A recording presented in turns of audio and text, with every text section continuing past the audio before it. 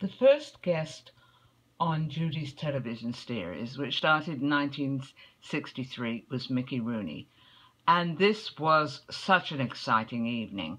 There were all the Hollywood celebrities were there, Lucille Ball, um, everybody, Van Heflin and his wife, Glynis Johns, everybody wanted this occasion and this series to be successful.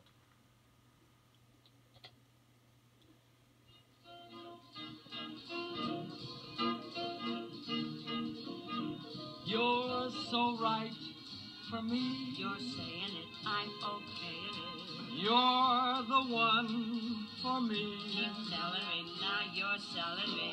How I miss your clinging caress, your fabulous lips, your voice saying yes.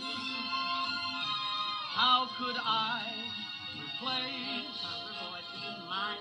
the light that lights your face? You're lighting it, I stopped by fighting. Now I see why this was meant to be.